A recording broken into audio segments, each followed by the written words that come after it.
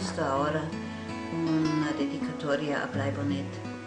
He escrito un libro de él, El poder y la verdor, en seis óleos, escritos uh, superimpuestos en muchas capas. Como terminado, estoy focusando al próximo trabajo que quiere hacer, que es una dedicatoria al poeta Damien Huguet de Campos, donde yo vivo y donde yo trabajo.